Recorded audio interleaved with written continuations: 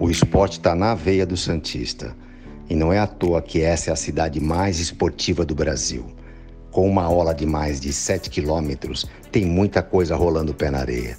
Surf, canoagem, corrida, stand-up, tamborel, pique tênis, futevôlei e muito mais. Como não amar unir saúde, bem-estar e natureza assim tão de pertinho? E claro que não para por aí. Longe do mar tem uma galera praticando muitas outras modalidades. Nossa cidade é dona de um celeiro de atletas de ponta que inclusive trouxeram medalhas olímpicas e paralímpicas para cá. O orgulho! Santos é tão esportiva que as praças são ponto de encontro de quem ama bike, skate, patins, patinete. Quando dizem para mim que o esporte transforma, sempre respondo: eu sou a prova disso e Santos também.